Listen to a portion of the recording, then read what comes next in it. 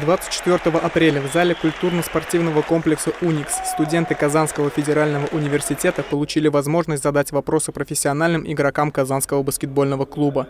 И более того, даже сыграть с ними показательный матч. Капитан Антон Панкрашов, Мелвин Эжем, Стефан Ласми и Владислав Трушкин более получаса покоряли гостей, зрителей и преподавателей университета своим обаянием и открытостью, а легионеры даже порадовали знанием русского языка. Игрокам Уникса задавали различные вопросы, начиная от их предпочтений в татарской кухне и имен первых тренеров и заканчивая целями на концовку текущего сезона. После такой импровизированной пресс-конференции каждый баскетболист выбрал по два самых интересных вопроса и вручил задавшим памятные сувениры с символикой клуба. Затем все желающие могли помериться силами с четверкой игроков казанской баскетбольной команды уже на площадке.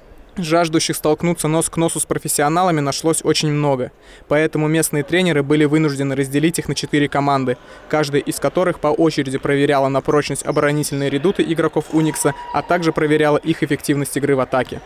Мелвин Эжем и Стефан Ласми радовали зрителей эффектными техническими приемами и великолепным дриплингом.